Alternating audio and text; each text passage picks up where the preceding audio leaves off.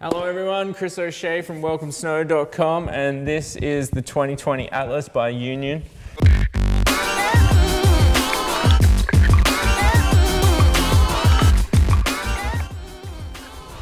Union's a Pacific binding company, if you don't already know. They make amazing bindings that we all love.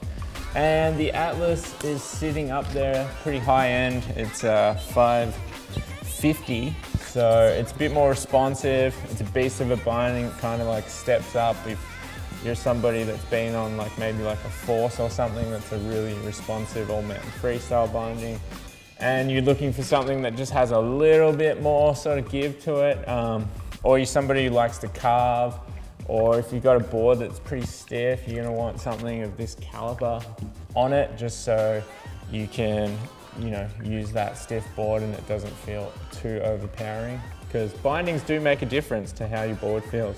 The more responsive it is, the more easier it is for you to manipulate and flex your snowboard. So the Atlas is the Duraflex CB3 base plate, which is a milled out base plate, ultra lightweight, as light as you can possibly get for something that's built as tanked as this. So heaps of response, EVA all through the heel, injected, same sort of thing as a force binding. It's gonna be ultra damp. Comes with canting, so in the back there, there's angled out there, so good for the hips, that one. Uh, and then they've got their exo frame straps. So that's what they're calling it.